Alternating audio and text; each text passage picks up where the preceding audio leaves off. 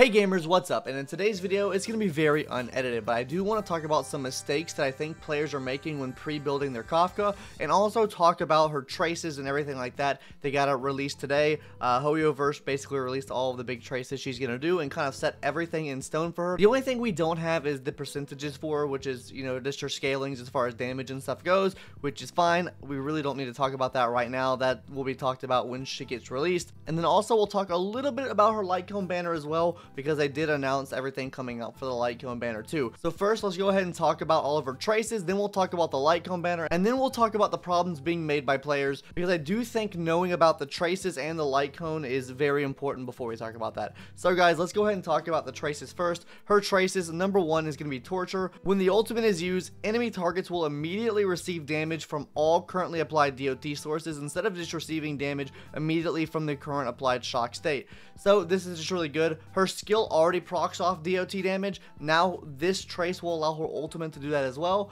So you have her skill proccing off DOT and you also have her ultimate now proccing off the DOT as well, which means just more damage all around. Her number two talent is going to be Plunder. When an enemy inflicted with shock is defeated, Kafka regenerates additional energy.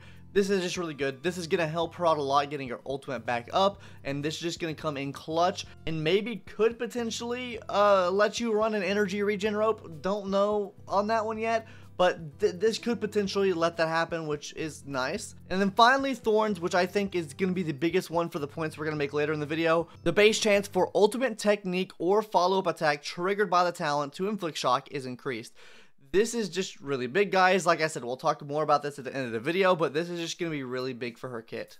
Alright guys, talking about her light cone and light cone banner now. Now as far as what's on the light cone banner, we're getting uh, the birth of self with this Herta's light cone. We're also going to be getting uh, the pearls of sweat, which is Luka's light cone. And then we're finally getting eyes of prey, which is Sampo's light cone. And then of course we're getting Kafka's 5 star light cone as well. Let's talk about the 4 stars really quick first. Uh, the 4 stars are pretty decent. Um, I don't understand why the birth of self is on here because it really only affects follow-up attack damage, which I guess you could use on Kafka. I don't know how much benefit you would get from that. You're not really getting anything from Serval. You're not really getting anything from Luka with this. Uh, I genuinely don't know what this is being used for, if I'm going to be completely honest. Um, I, I, I, don't know why this is on here. I don't. Th I think this is by far the worst one on here for the characters that are given on the actual 5-star banner. Something like this can be used on Herta, which we all get for free. You could probably also use this on Jing Yuan as well if you have a Jing Yuan and you don't have anything else. I mean, you could use this, the extra follow-up attack damage. That's where his main source of damage comes from. So maybe on him? I don't know. Definitely not the best in slot though, for sure. Pearls of Sweat, really, really good. It basically has a chance to ensnare the enemies, which means they can't move, which in turn could potentially give Kafka more turns to use her abilities, which means you'll be proccing off more and more DOT on the enemies. Also, this is going to be decreasing their defense by a certain percentage too, which means they take more dot damage as well. Uh, so yeah, I think Pearls of Sweat is just really, really good. And then finally, Eyes of Prey. This is Sampo's uh, signature cone basically. This right here is going to be increasing the effect hit rate and increasing the applied dot by 24% at an S1 really good. I mean, you can't really go wrong with this if you get either of these two light cones on the banner pretty decent. And then finally, let's go ahead and talk about Patience is All You Need, which is Kafka's signature light cone. It's going to be increasing the damage dealt by the wearer by 24% after the attack is unleashed. The wearer's speed is increased by 4.8% and spacking up to three times. And then if you hit an enemy that's not eroded, uh, they'll become eroded, which basically erosion is uh, a lightning DOT at 60% of the user's attack.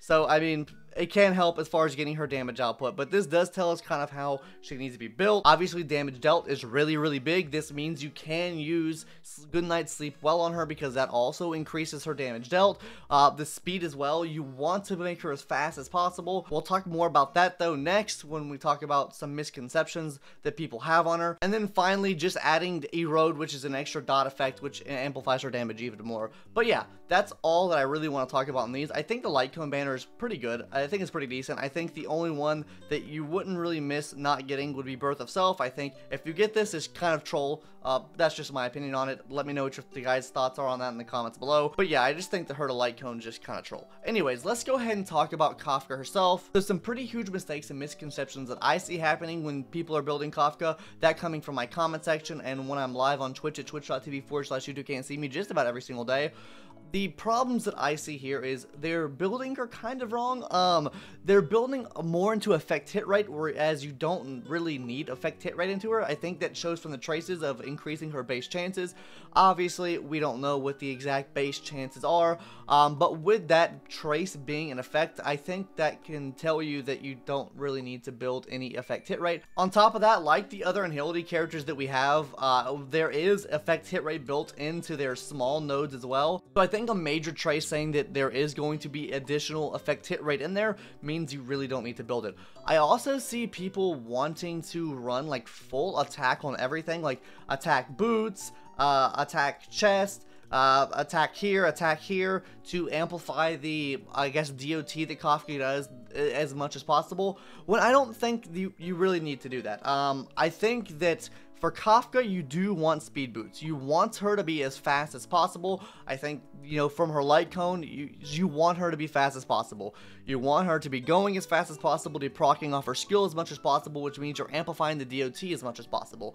You really want as much speed as you can get in Kafka. That means more skills you can activate. That means more ultimates you can get and just everything like that. It also increases the amount of follow-up attacks she'll have because the faster she is, the more turns you get with her, the more follow-up attacks you technically would get with her as well. Now, as far as the chest plate goes, I don't think you necessarily have to run attack. Me, personally, I just haven't got a crit rate or crit damage body piece here, but I do think that you could build Kafka as a crit rate or crit damage unit. I, the reason I think this is because you don't have to really build any effect hit rate into her at all. You really don't have to th that's that's the main thing that I think holds back a lot of these Nihility characters is you have to build so much effect hit rate into them for them to actually hit but I think her base chance is just going to be so high that you really don't need this at all. You really only need 10% effect hit rate if you want to hit absolutely every enemy in the game and when I say every enemy in the game the only two enemies you really can't hit with it are the Ebony Deer and also the Cocolia boss fight. If I mean uh, if you if you're really stressing out about it then Sure, build 10% effect hit rate into your kit, then you'll be guaranteed to hit absolutely everything. Uh, if you don't, then you can hit everything except for those two mobs. But I really do think a crit uh, build for Kafka could be viable. Now, I'm not saying just put a crit rate, crit damage body on her and call it a day, because you actually need to build it out like an actual crit character would need to be built out.